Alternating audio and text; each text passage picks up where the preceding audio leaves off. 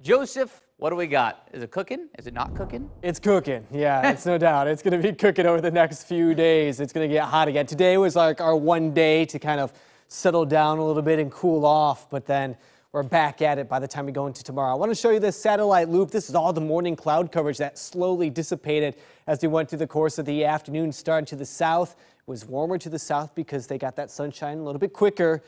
And then on, uh, eventually we finally saw some clear conditions here in the valley. On top of it, we had this smoke plume from the Lion's Head fire there that you can see with that smoke kind of spreading to the east towards Madras. You can see that stream right there because the wind aloft was running mainly out of the west, and so it took that smoke in that direction. High pressure down to the southeast. You may recall last weekend it was perched like right here and then finally made that shift down to the southeast. And as it did, it kind of swooped the wind out of the south, and that brought in the fire, uh, wildfire smoke.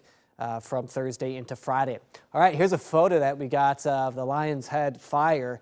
This is uh, by the Warm Springs Reservation, about 14 miles west of the Warm Springs community there. Notice the terrain and the smoke there. We may have a little more smoke kind of fall south as we go through our Sunday, but I think for the most part we'll look pretty clear as we go into tomorrow afternoon into the evening hours. And most of that smoke is going to travel down to the southeast. So I think we're okay as far as the hazy sky that we had on Friday. I think that's probably not going to be an issue for our Sunday. A lot of sunshine, though. Uh, no doubt we shouldn't see as many clouds for the morning hours. Temperatures warming up to about the mid to upper 80s for tomorrow.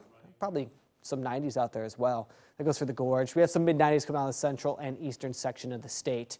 I want to show what's going to occur as we get into about Monday or Tuesday. We're actually going to have some cooler air start rushing in from the east. And with that contrast between warmer air west of the Cascades and that cold air that's trying to roll in from the east, we're going to see the wind increase. There's going to be a result of some strong wind, which is going to be uh, paired very nice with the dry conditions that we have out there.